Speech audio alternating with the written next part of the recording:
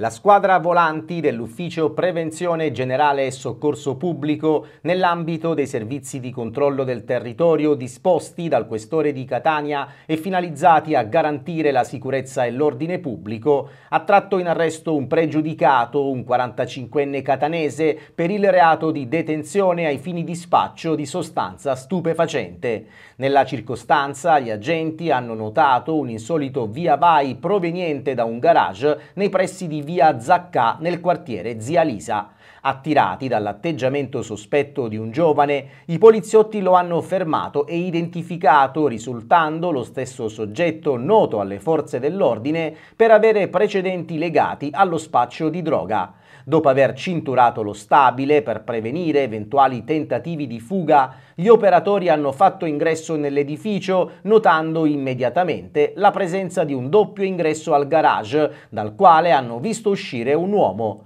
Fermato e identificato il soggetto, gli agenti hanno proceduto alla perquisizione dei locali e la loro attenzione è stata subito attirata dalla presenza di un monitor installato al muro con una schermata video suddivisa in tre sezioni associate alle vie circostanti lo stabile, nonché dalla presenza di un foro sulla porta del garage dove era presente una microcamera. L'intervento immediato dei poliziotti ha consentito di recuperare e sequestrare all'interno dell'edificio sostanza del tipo cocaina con svariato materiale per il suo confezionamento, più di 1000 euro in contanti, presumibile provento dell'attività di spaccio, e arrestare l'uomo in flagranza di reato.